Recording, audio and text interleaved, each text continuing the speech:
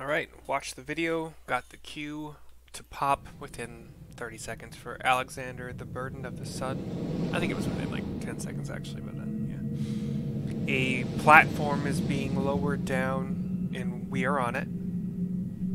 Again, there's a lot of pistons, moving, like big pistons moving up and down. And there's kind of a four-legged kind of spider mech middle of this large circular room.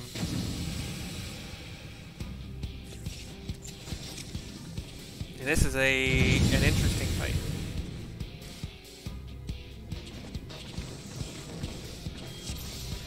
Alright.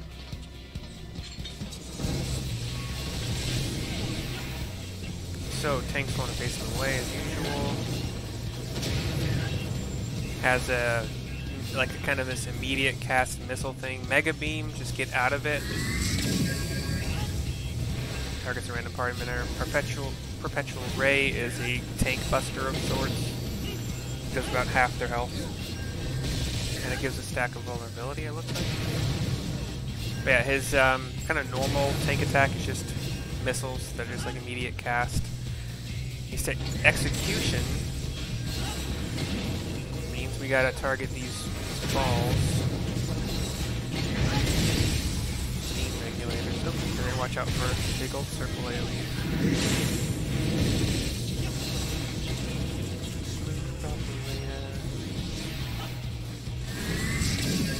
There's a beam that, oh, luckily nobody got hit by somehow. Crazy. Perpetual Ray. Tank back up here. You don't need to cure 2 ever, my guy. We got it. Oh, that's me. It wasn't cure 2 Alright. He'll leave and summon those um, two of those mechs that we had to fight in the last one. And they will have all of their abilities. You want to fight them separate from each other, but these guys are dumb. Oh god. I'm gonna spread out, drop this ice somewhere where hopefully it's not gonna hurt anybody.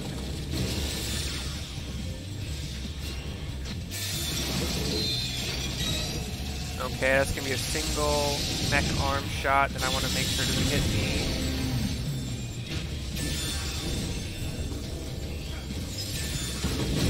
I got ice on me again. I'm gonna put it in the corner over here. There are no water spouts you have to freeze now.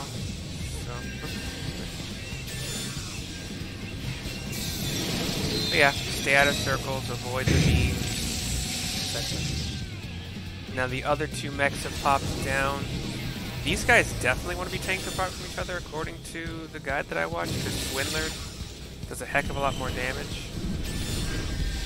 And okay, I'm going to do the opposite. So I got an... Oh, sorry, I want to be on, on high ground. Okay, vulnerable to damage while on low ground. That's what I did wrong. I didn't read it closely enough.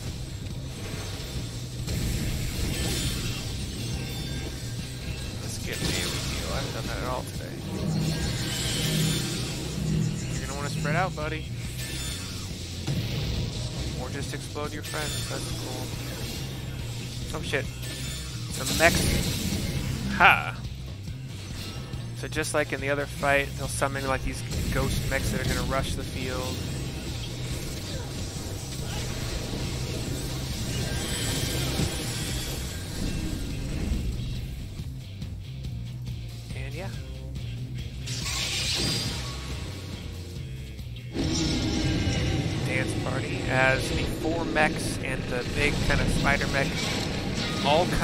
Combine each other. The four mechs become arms and legs. They all get shoved back. Now we got Brute Justice, a big old thick mech dude.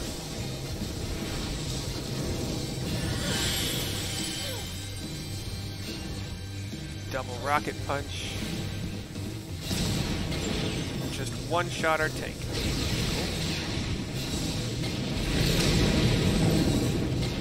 Oh shit, group up mechanic, I failed. Sorry guys.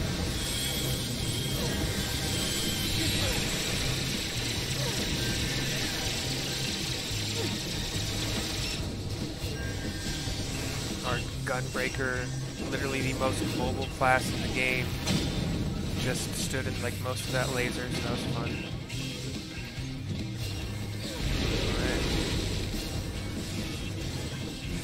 Why did our tank get one shot like that?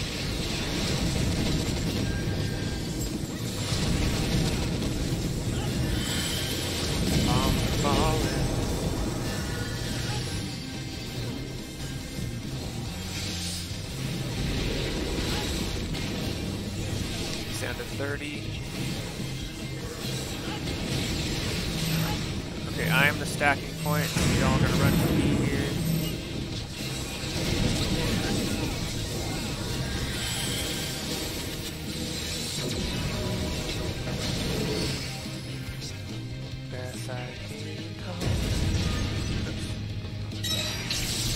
And then they all disassemble. And the mechs are just gonna run around. Bombs. Spread out mechanics. They aren't targetable. They leave um, mines as well that you want to avoid standing in. This guy's got double laser arms, so I want to not be in the way of that. Or maybe I do, because you wanted to soak it last time. I want to be down. Yeah, I want to be on low ground. Can't reach you.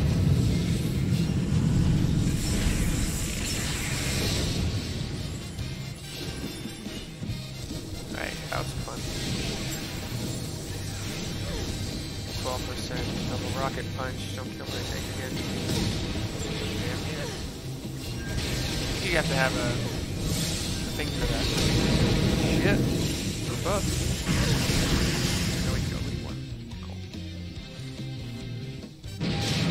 And the giant, thick mech. Kinda like a, kinda looks like Alexander, honestly, in a lot of ways. False around. Exactly like Alexander, kind of more. Well, one of the colors are similar to what the actual Alexander looks like. I'm not positive. Alright, let's see what kind of after battle stuff we get here. Midas complete. Maybe it is only 8.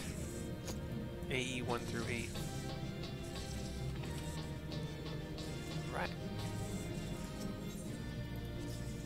Let's jump into the exit. We should get a cutscene, I would think. Yeah. The platform is lowering. We're kind of into the core. Uh, Mide and, and myself. The Maiden Knot is what this is called. Biggs and Wedge on another elevator. They're all pumped. We approach the giant red core that's got like flashing yellow lights. The second core, I do believe. Once that's out of commission, Alexander won't be going anywhere.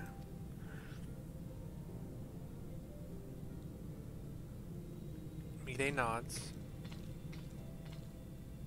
Climbs the climbs this one as well, like she did the first one. Diane, would that I could see you just once more. Diane, D-A-Y-A-N, Diane. Dayan. She hesitates for a second. Farewell, my love. Her eyes are very blue. The... Not, yeah, it is iris. Right? Iris is the colorful part. And then, yeah, the black parts are. Once again, the giant core, like the metal part opens up, and then the core in the side stops spinning. It's also like a bunch of rings that form a sphere, both vertically and then horizontally. Here's the leader of the Goblin Illuminati. You, says Mide. Oh yeah, Roundrox is nowhere to be found so far. Wow, quite a few more Goblin-like commandos on bat wings kind of fly up to join the fray. Too frightened to face us alone, I see. Not that I blame you. We all know what Mercy did to you last time, says Wedge. To usher in future that has been writ, even strongest Gobby must sometimes pretend to be weak, and let em enemies win. Oh, pretending were you, and I suppose losing th this core was all part of your plan. Don't make me laugh, you know as much about the future as we do. It's the best Biggs I can do, I think. Quick knows all. For example, Quick knows one among Uplanders carries true fragment of Enigma Codex.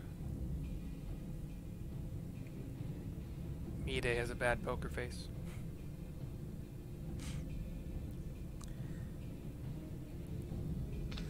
It seems the game is up, Biggs. There's no hiding the truth from Quick Very well, I admit it. I have the fragment, but I won't be handing it over to the likes of you. And Wedge runs, escaping the grasp of several gobbies, leading them away. Oi, Wedge, didn't you hear him? He knows all. And Biggs runs another way? Which means he knows that what you're carrying is a worthless rock, while I've got the genuine article tucked away in me small clothes. A couple of the gobbies, actually all the gobbies run his way instead. And then Wedge waves again, they run his way. kind of ping-ponging him. It's cute. You and Mide, however, take one of the platforms back up to the top. Quickthinx already knows conclusion of Uplander's childish games. His platform uh, is moving over underneath yours. I think he might be trying to follow. Yep. He's coming for me. Eh? What's he waiting for? Says Biggs. Long ago was outcome decided. Uplanders think they are victorious, but luck is no friend to them today.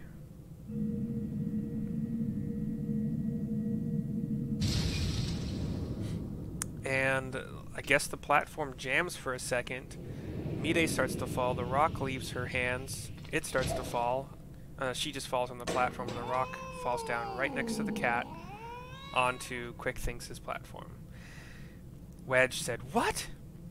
And now Enigma Codex belongs to Illuminati. All pieces fall into our hands. The cat's just staring at it.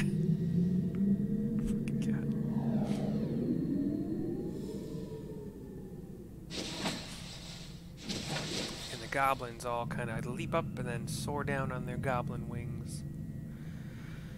And fade to black. Quickthinx probably sabotage the platform. as far as I can make out, the thing's in good work and order. No damage, no signs of tampering. I can only think it was an energy fluctuation that did it. Just bad luck. Bad luck? You're saying it was pure chance the platform stopped at that exact moment? Then what about Quickthinx? There is no way he could have predicted something like that. The odds would be infinitesimal. Mide is looking kind of like, what is going on here? Well, however he did it, the fact remains that he did. But but that doesn't mean we have to stand for it. When someone takes something from you, you just have to take it back. You nod to Mide. It's go time. Saved you a place at the table. Alright. Let us exit. Can I change? I freaking forget. Leave the Maiden Knot. I believe we want to do that. Yeah. Yes, I do. Alright, we'll talk to Backrix here. Do Uplanders forget something? Matters are too urgent for such foolish doings. You explain what happened. What? Tongue flaps of uh, tongue flaps of Uplander make Backrix almost to laugh. Uplander claims already to have stopped core and lost fragment to quick things? Look here, Uplander. Backrix has brain case like steel trap, catching all heard things, all seen things, and he saw Uplanders leave but few moments ago. Backrix senses something is amiss. Is there a time dilation going on here? Alright, so we got Burden of the Son. I don't know why they're named like this. Arm and cuff makes sense. Burden, I'm not so sure. Whatever. One step behind is done now. Backrix will talk to you. A gob in the machine. God in the machine. Backrix is certain that Uplanders left for Metal Giant only moments before returning. He watches Uplanders disappear over horizon with own two eyes. But it is impossible to return so soon if Uplander's tale is true. Why Treasure Hunter also makes such claims, Backrix does not know. go, Uplander. Trade tongue flaps with Mide, and together think of explanation. Time dilation. Time is different in Alexander for some reason. Somehow. Have you been able to make any sense of Backrix's account? According to his version of events, we would scarcely have had time to reach the core, much less shut it down. But we were all there. We all know what happened.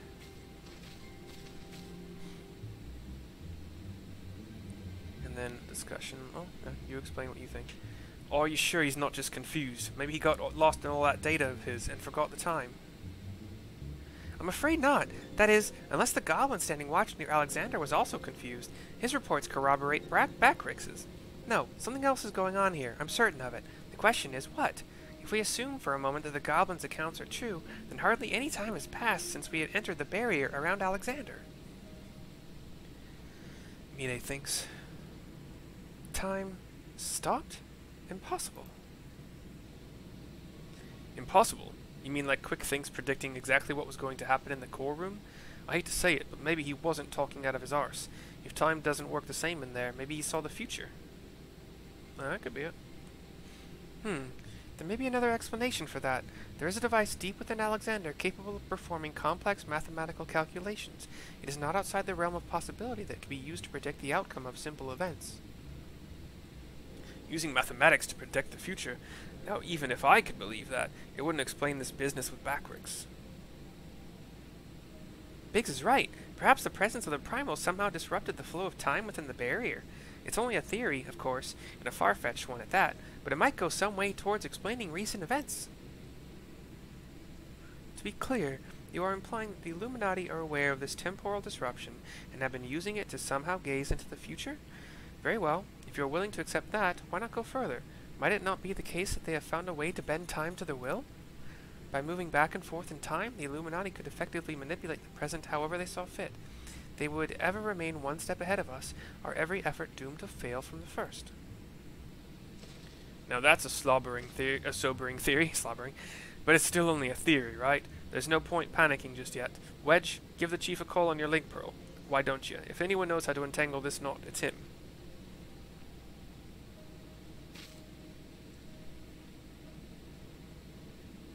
Chief, it's me. It's about Alexander. We've noticed something strange about time inside the Primal. What?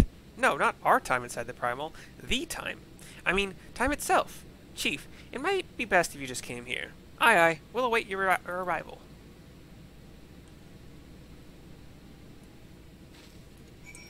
And we wait. Destination unknown. Woo, so home.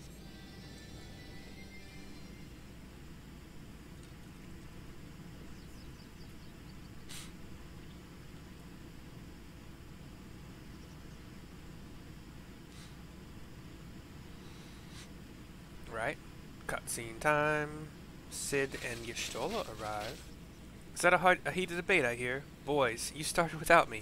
Now, what was it that we, what was that you were saying over the link pearl? Something about running out of time? Cid insisted that I accompany him, though I would I would have come ever had he...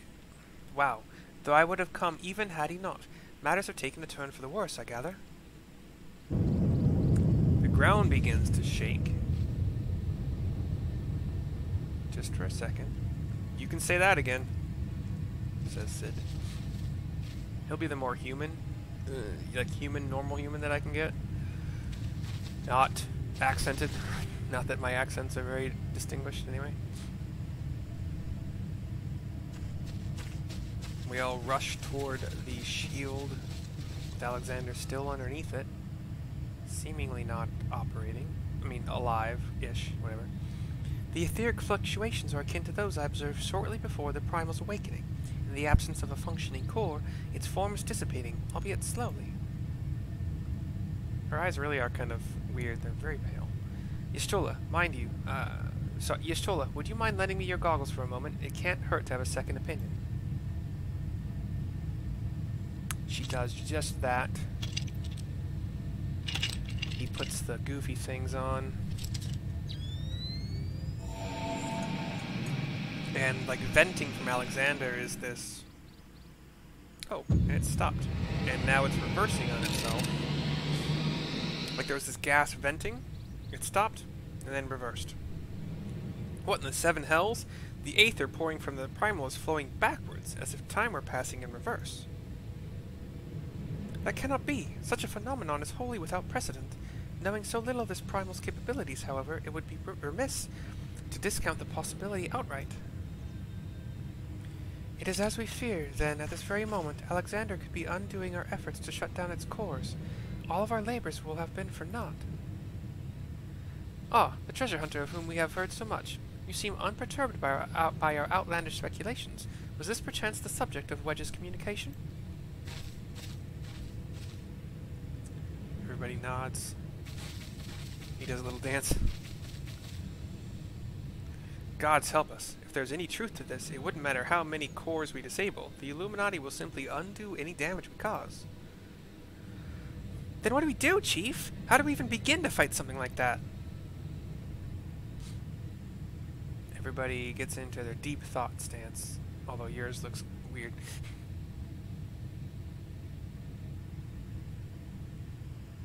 you look over to Mide, who seems kind of transfixed. To erase the past, to return to a clean slate, clean slate. Could Diane have known? D-A-Y-N. D-A-Y-A-N. Diane. Sounds like Diane. I hate, I hate, I don't want it to sound like Diane. Hey, Diane. Diane. I'm gonna go with Diane. There's a goblin sitting on a chair with like this big old spiky th thing above it that looks like it could wrap around its head and suck out its brain. There's a control room of sorts with what looks like a piece together that black cone from Mide's past. It looks like it's been pieced together. It's not like uniform and smooth like the cone previously was. A lot of goblins are kind of standing around looking at it. Other goblins are, you know, working some machines and controls. One goblin rushes up a ramp. Preparations for restoration of Enigma, Enigma Codex are complete. Calculations show margin of error for future readings is 0.03%.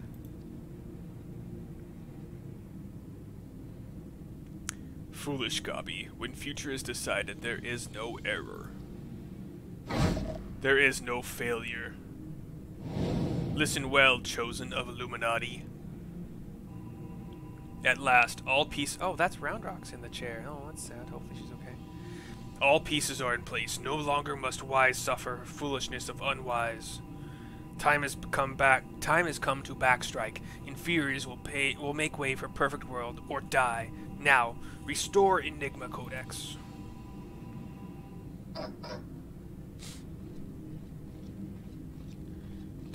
Alright, one of the Gobbies approaches the kind of deformed cone.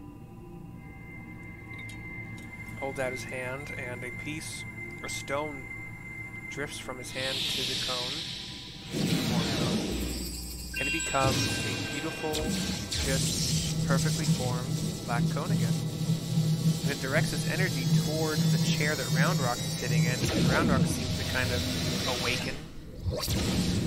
And then it drags the energy from that, from the cone, straight up into this like whirling five-pointed kind of um, ninja kind of star, curved star that gives like uh, of um, computer optics in, in the ceiling that just kind of starts to rotate around. Now is Alexander Illuminati's to control. Soon will cores disabled by Uplanders be disabled no longer. Reverse time. Giant gears start turning, pistons moving up and down. Bolts of mechanical workings All the Gobbies start celebrating.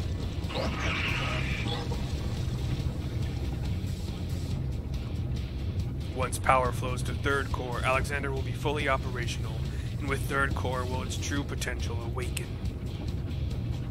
Wings of time will unfurl, and all of history will be at mercy of Illuminati. Chosen ones will amend mistakes of past and reshape world into perfection. At last, prophecies of Enigma Codex will be fulfilled. And Quickthinx Allthoughts will rule as king of New World, of correct world, chosen ones, menders of history, be proud to serve as builders of this paradise. They all salute. And the Gabi's salute appears to be a hand to basically the ear canal, one of the ear canals. That's their salute. They do got big old ears, so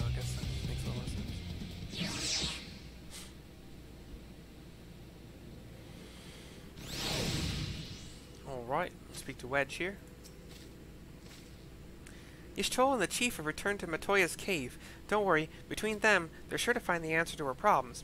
If it isn't waiting on a shelf in the Sharlayan annals, all it'll be in some forgotten corner of the chief's brain. You mark my words. And the next time we meet Quickthinx, we'll be ready for him. Wedge, Biggs walk off. Adventure, there is something I would like to discuss with you, but mayhap it would be best to wait until we are safely back at the shortstop. I will see you there. Why did you even make me leave? Oh, it's like right here. like, why'd you make me go so far? It's like, it's like, oh, I can fly here. Oh, I forgot about that.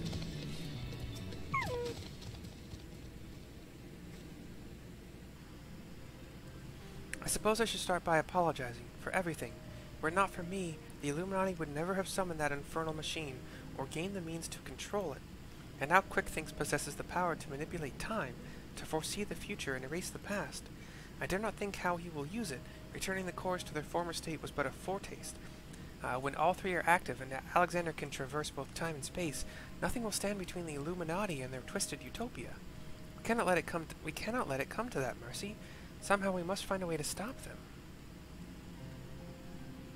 But first, we must rescue Roundrox. Of all the innocent victims of this sorry tale, her plight pains me the most.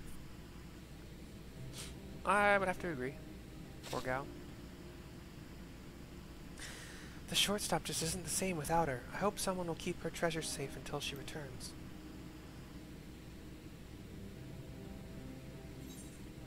A gob in the machine.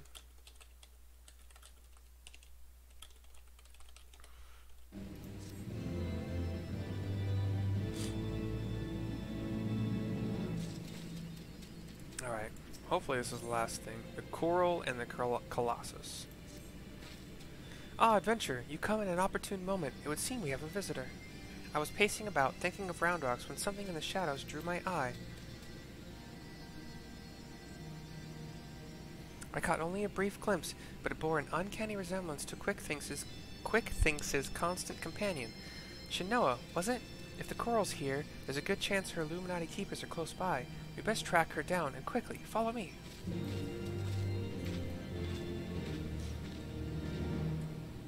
even though I've got people I'm trying to chat with, I am dedicated to following this until the next um, raid, which I have to watch the video for. Alright, cutscene over here. There is the black cat. Just as I thought. It is Shanoa. Or is it? One coeurl kitten looks much like the, much the same as another, and she doesn't seem to have brought any of her friends. Over there! The kitten goes running with the two of you, and... Uplanders! What are all these snap crashings and... it's just a goblin laying on the ground. An Illuminati spy, sent by Quickthinx to observe our movements, like as not. Given the sizable disadvantage at which we find ourselves, we thought it best to relieve him of duty, says Cid, with the Y'shtola coming up. He spent his final moments babbling about all of the Illuminati's deranged schemes, claimed that once the final core was activated and Alexander fully operational, the fortress would gain the power to travel through time, taking them along with it. Everybody's shocked. He seemed quite convinced that Quickthinx was a prophet of sorts, a traveler from the future come to, to the present to return history to its proper state. Aye, and that's not the half of it. According to him, the battle for history has already been won, and not by us for the future is writ in the Enigma Codex, and we but play out, and we but play out our roles in it. Quickthinx, a traveler from the future. That could that would certainly explain how he was able to anticipate our every move, but could it be that he has already conquered the world of tomorrow? Have all of our efforts been in vain? Bah, tongue flaps of crazed Illuminati, Illuminati make brain case hurt. Backrix would speak of different subject. What brings Uplanders back to shortstop? Having settled upon a plan of action, Cid and I were in the process of making our final preparations with Master Matoya when this kitten scampered in, mewing as if to beckon us. We duly followed her, and she led us here. much to the dismay of the fellow at our feet. I'm not the one to look a gift coeurl in the mouth, but something about all this doesn't sit right with me. She has been at Quickthinx' side, make that on his bloody head, every step of the way, and now she decides to betray her, her keepers? If the cat would speak our tongue, I would have a question or two for her, mayhap even three. I can't believe I'm, I'm, even considering this, but then it wouldn't be the strangest thing I've heard today. You there, cat, you're Shanoa. Quickthinx is a little familiar, aren't you? Two mews for yeah, one for nay. Mew mew. Fuck this. Stupid. I love it though. Did she truly? Do you want to go home? Mew. One for no. Seven hells. I think the bloody furball might actually understand us. But that doesn't mean we can trust her. For all we know, she could be here to do her master's dirty work.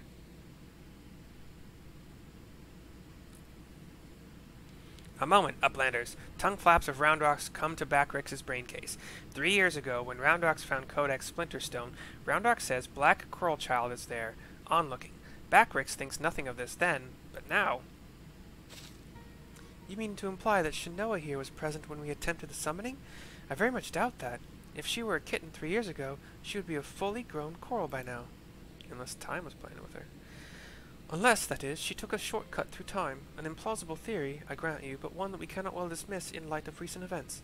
If true, it would raise a still more troubling possibility that Roundrox's discovery of the Codex was no mere coincidence, but an event orchestrated by Quickthinx to further his own ends. Hmm. It's a lot of timey-wimey. oh, this just gets better and better. Look, whatever's going on here, we're not like to find out uh, find out by standing around talking. We need to delve deeper into that fortress. And as luck would have it, Wedge claims his latest invention will allow us to do just that. I've sent him and Biggs on ahead to the Maker's quarters to perform their final tests. Uh, meet them there when you're ready. I'll join you as soon as my own preparations are complete. You're like, yeah, boss, I got this, son. So, word. The cat follows Backrix kind of like bouncing. I guess they don't understand. They get, they didn't want to program cat movement. Funny as fuck. To travel back in time and to set past wrongs aright, who could resist such temptation? How grievous the consequences of surrendering to it. For in allowing the past to consume us, in making our every choice, our every action in the, the correct one, will we not cease to leave, live in the present and in turn lose sight of the future? It is a path not to redemption but to madness. To madness. Oh, gosh, it's a lot of talking.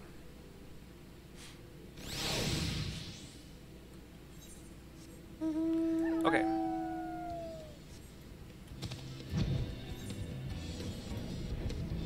I can fly, I can fly. I can show you the world. Shining, shining splendor. Okay. Here's Biggs, Wedge. Day and Snapclicks, who I don't really know very well. Ah, mercy, all fired up and ready to go, are we? Then I'd, I'd best hurry up and brief you on the task at hand. In a nutshell, we'll be, we'll be attacking the Primal on two fronts. As we speak, Y'shtola is leading an attempt to cut off the Primal's source of ether. Our job, meanwhile, will be to head into the belly of the beast and rescue young Roundrox. Without her to view the Enigma Codex Forum, the Illuminati won't be able to turn back time anymore, giving us a fighting chance of beating the bastards. The chief reckons that the shortest path is through the giant's great fat noggin, the only problem being that it's inside the barrier.